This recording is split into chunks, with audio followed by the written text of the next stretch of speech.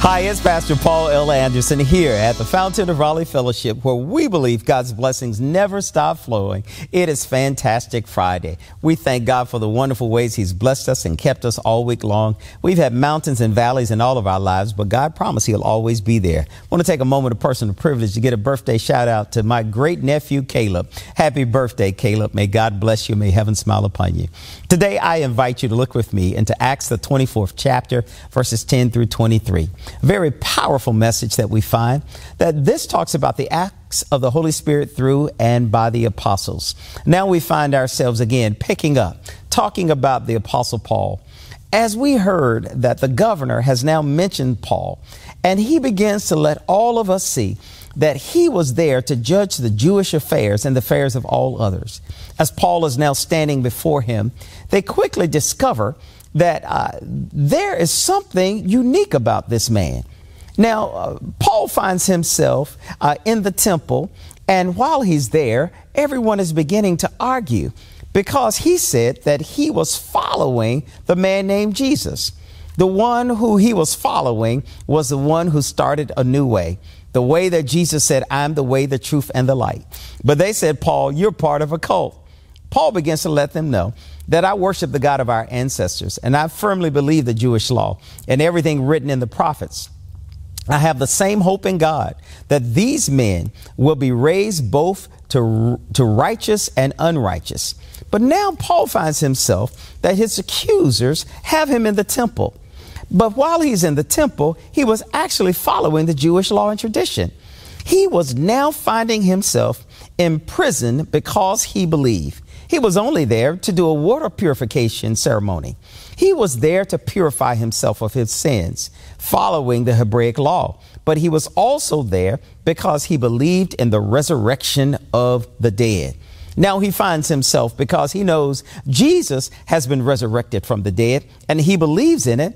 But there was this large gathering of the Pharisees and the Sadducees who did not exactly believe the same. One believed in the resurrection of the dead, and one believed in angels, and the others didn't. And so now they find themselves at the point where Felix, who is the emperor of their day, says that you are here to start trouble. And now Paul begins to remind them that I am here to do what God has called me to be and what God has called me to do.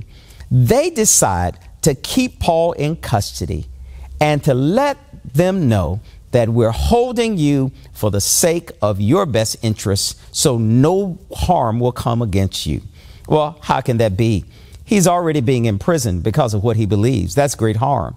You and I, as we live in our contemporary world, we must tell the truth because the truth will set us free. But sometimes speaking up for the truth can cause some hardships.